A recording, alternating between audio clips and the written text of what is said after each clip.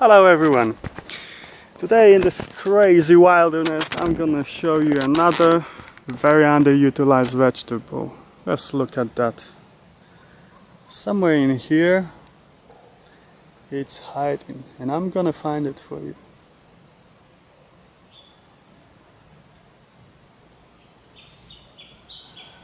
There it is. Pipturus arborescens with all its leaves eaten by bugs.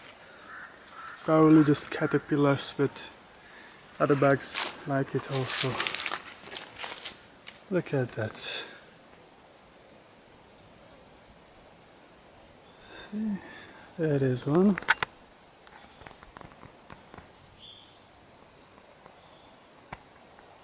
Not many leaves left.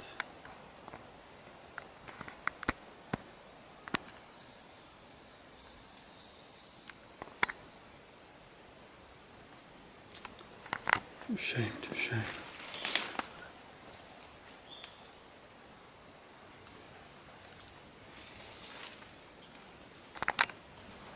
So today's episode is about small tree whoop, or a big bush called Pipturus. The one that grows here in the Philippines that I'm showing you is Pipturus arborescens. Pipturus, whoops, comprised of few species, all of which can be found in Southeast Asia and Polynesia. And the plant is most known in Hawaii because in Hawaii they eat it as a vegetable, the leaves, and they also make a tea of it. They call it mamaki. Yep. So this one is the Philippine species. I never seen the one from Hawaii, which is Pipturus albidus, but I uh, I've seen from the photos and the leaves that it looks very very much like the same as this species. Yep. Pipturus arborescens. So as you can see here, there's no leaves left. It all been eaten. Yep. Caterpillars loves it and other bugs too. What a shame.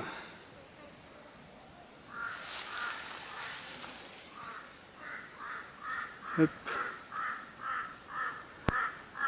So Mamaki can reach to around six meters high. Well, you can keep it as a small bush if you trim it regularly. It grows very fast. If it have good compost soil, it can grow like one meter in a month or even more. Yep. And fresh leaves uh, are really nice as a vegetable. They have mild taste, nothing unique, but it has nice texture. It's rich in iron.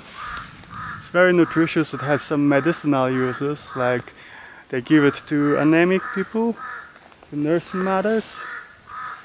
And it's it also has some antiviral properties. Okay, I'm gonna look for some that have more leaves than this one. And that one it's, looks so shabby. What a shame. Here's the villian. Look what it done to that leaf. Mamaki. See those young leaves? are very soft and very nice to eat fresh. Or you can cook it boil it you know, in any way you want.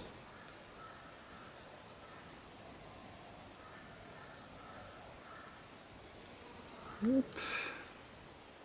that's how it looks like.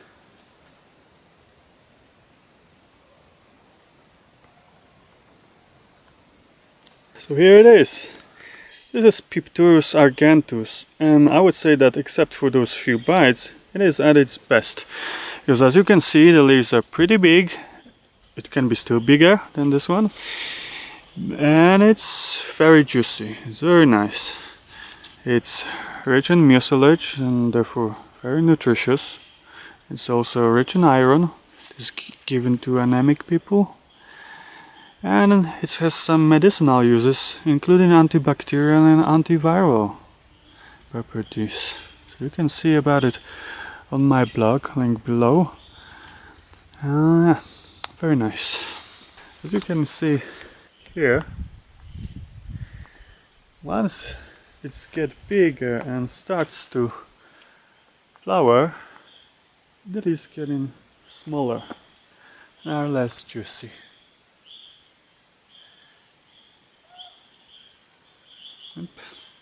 But if you want, you can just cut plant like that and then it will start to produce those big, nice juicy leaves again until it will grow into some size and then will start to produce flowers again. So here, nice young Pipturus. This is probably arborescens, but the difference between arborescens and argenteus is very very slight. It's actually very hard to distinguish both species. And I've wrote about this problem in details in my blog. Mm -hmm. yeah. This is probably arborescens.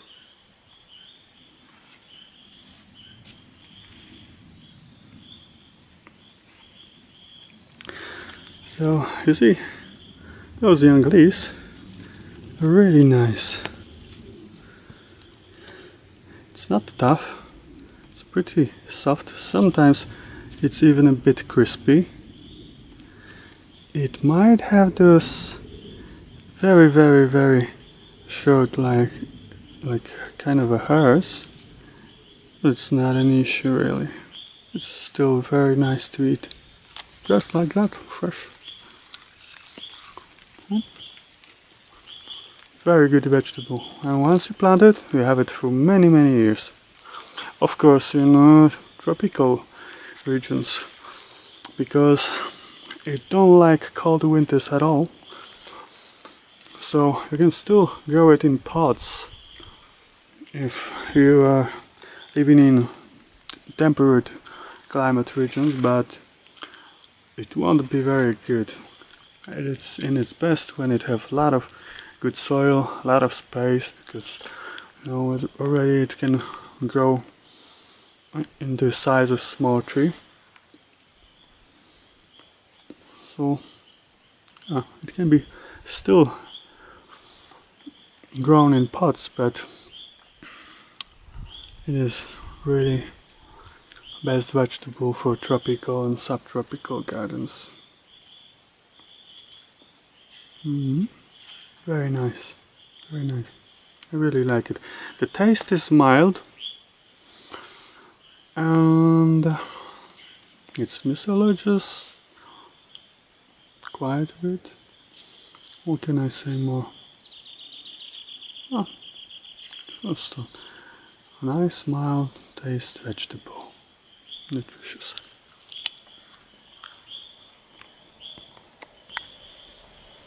So here in one place you have three wonderful vegetables. Elatostema, Conostegia and young Pipturus. And all three, although look so different, belongs to Urticaceae family of plants, which means they are related to stinging nettle, although I would say that Pipturus have more in common with mulberries than with nettles.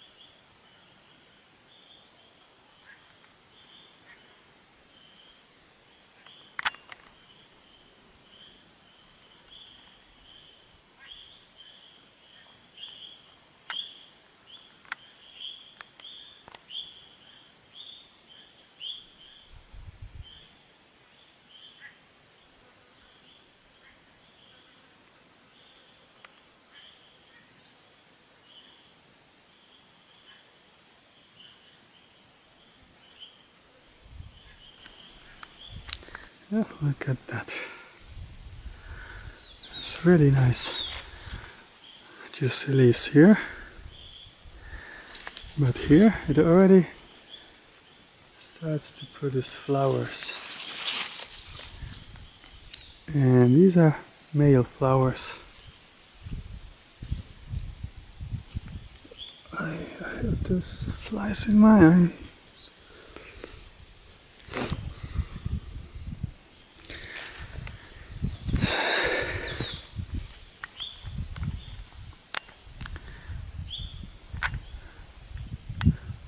So this one is probably less than one year old. Although as you can see here it already starts to flower. These are male flowers. Female, flowers are even smaller. Maybe I'll find some more. The male and female flowers can appear both at uh, one plant, but usually it's separated. Female and male plants.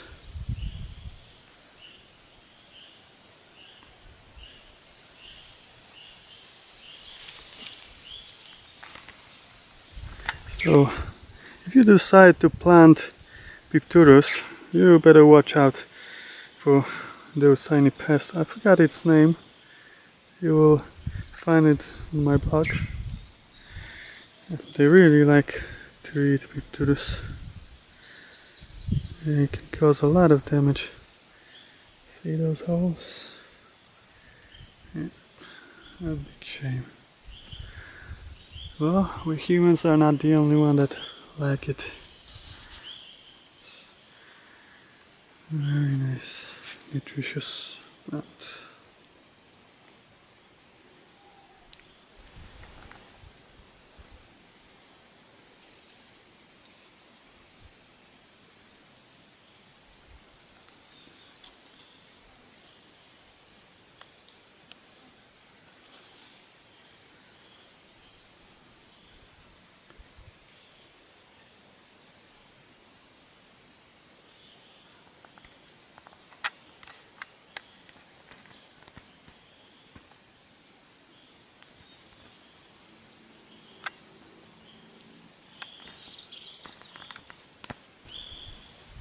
So this one is the female plant. Because as you can see, it already starts to produce fruits. I can't see any. Oh, here are the female flowers. I don't know if it will focus properly so that you can see it well. But these are the female flowers and it quickly turns into fruits.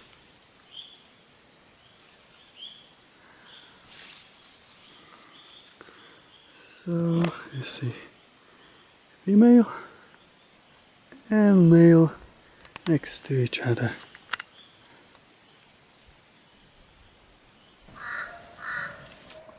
So these are the ripe fruits. As you can see it's white looks a bit like white mulberries. That's why in Australia they call it Australian mulberries because it grows in Australia as well. Yep. But fruits are more or less seasonal. Like here in the Philippines, they, they are for a few months, generally during the dry months. And the leaves are all year round, unless it's been eaten by caterpillars or other pests. As you can see, it can manage to grow even on the rocks.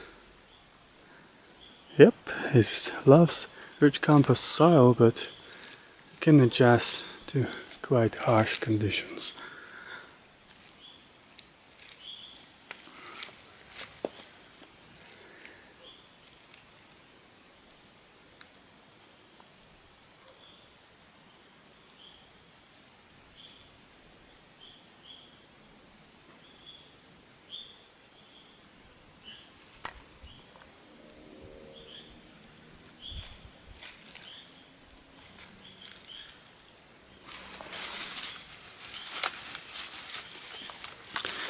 And here we have it. Turtle's fruits.